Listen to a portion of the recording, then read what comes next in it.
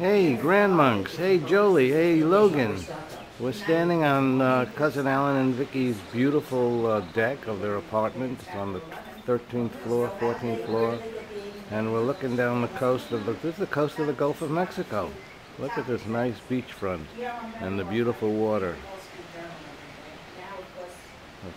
And this whole expanse that you can see down, all the way down. Isn't that beautiful? Exactly. Well, I feel the same way.